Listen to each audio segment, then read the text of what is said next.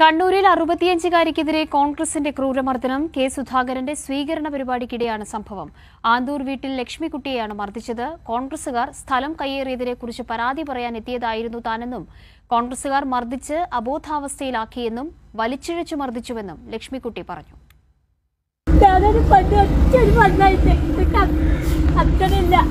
അമ്മ മരിച്ചിട്ട് അത്രയായിട്ട് നാൽപ്പതായില്ല അല്ല അമ്മ മരിച്ചിട്ട്. ഞാൻ ദൈവത്തിന്റെ കടാട്ടം കൊണ്ട് ഞാൻ ബാക്കിയായതാവും ഇല്ല ഞാൻ ക്രിയ കഴിഞ്ഞിട്ടുണ്ടാവും എന്റെ അയ്യത്തെ അറിയില്ല ഞാൻ ഇന്നലെ ഞാൻ ജീവിക്കില്ല ഇവർ മുമ്പേം ചെയ്തേ മുമ്പേ ഇതാ ഇതാ ഇവിടെ തച്ചിട്ട് അഞ്ച് വിരൽ കൊട്ടിട്ടതാ കൊട്ടിട്ട് വന്നത് എന്നിട്ട് എന്റെ കൈക്ക് ഈ സ്റ്റീലിന്റെ കമ്പീനെ കൊണ്ട് തച്ചിട്ട് ഇത്ര വണ്ണം വെച്ചിട്ട് വന്നിട്ട് സന്തോഷ് കൂടുതൽ വിവരങ്ങളുമായി ചേരുന്നുണ്ട്. സന്തോഷ് പ്രായമുള്ള ഒരു വ്യക്തിയാണ് സ്ത്രീയാണ്. പാർട്ടിക്കാർക്കെതിരെ പരാതി പറയാൻ വന്നു എന്ന് ചൊല്ലിയായിരുന്നോ ഇത്ര ക്രൂരമായ മർദ്ദനം ഉണ്ടായിട്ടുള്ളത്? ഇവർ പറയുന്ന കൂടുതൽ കാര്യങ്ങൾ എന്താണ്? ഏതെങ്കിലും നിലയ്ക്ക് പ്രവർത്തകരുടെ ഭാഗത്തുനിന്ന് പ്രതികരണമുണ്ടോ വിഷയത്തിൽ?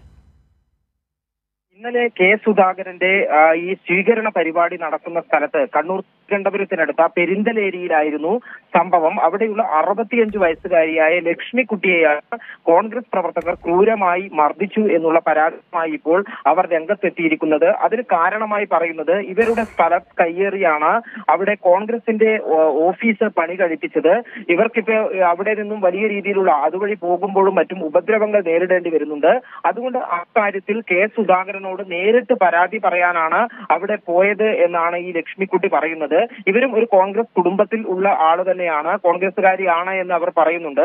അങ്ങനെ സുധാകരനോട് പരാതി ഈ പ്രാദേശിക നേതാക്കളെ കുറിച്ച് പരാതി പറയാൻ പോയപ്പോൾ അവിടെ നിന്നും അവരെ വലിച്ചിഴച്ചു കൊണ്ടുപോയി ഒരു അടുത്തുള്ള പറമ്പിൽ വെച്ച് മർദ്ദിക്കുകയും ഇവർ ഈ മർദ്ദനമേറ്റ് അബോധാവസ്ഥയിലാവുകയും പിന്നീട് ബോധം വന്നപ്പോഴാണ് എഴുന്നേറ്റ് പോയി അയൽവക്കക്കാരോട് ഈ കാര്യങ്ങൾ പറഞ്ഞത് എന്നുള്ള രീതിയിലാണ് ഇപ്പോൾ പ്രതികരിച്ചിരിക്കുന്നത്. ഏതായാലും അവരുടെ പ്രതികരണം വെച്ച് നോക്കുമ്പോൾ അതിക്രൂരമായിട്ടുള്ള ഒരു മർദ്ദനം ഏറ്റുവാങ്ങേണ്ടി വന്നു എന്നുള്ളത് തന്നെയാണ് മനസ്സിലാക്കുന്നത്.